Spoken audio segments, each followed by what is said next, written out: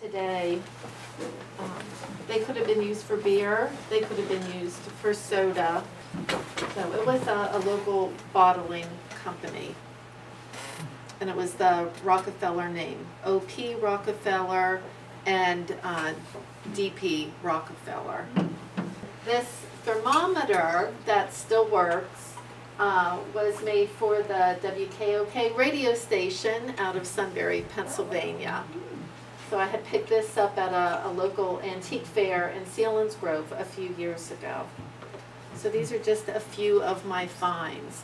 We also wanted to let all of you know that our parlor on the first floor of our building is full of local uh, dairy farm advertisements and implements that have been used on local dairy farms for a very long time. So we have a, a number of uh, dairies uh, represented in our parlor, which uh, we will be changing our parlor next week to uh, toys.